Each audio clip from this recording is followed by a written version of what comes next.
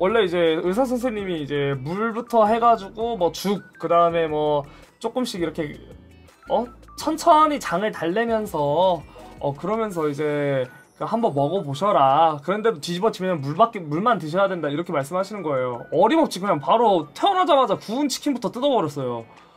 어 물론 이제 어반그 뭐야 얼마 안 먹었습니다. 한 해봤자 한 세네임 세네임 세네임 먹었어요. 세네임 먹었는데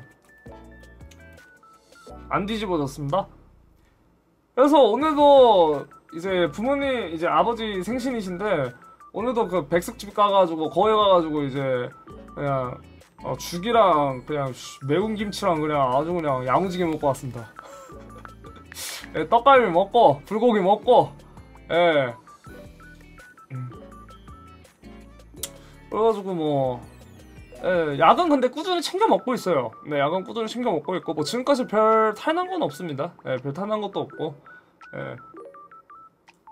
뭐 나아지고 있는 중인 것 같아요. 음. 하여튼 그래서 뭐 그런 일들이 있었습니다. 예, 그런 일들이 있었어요.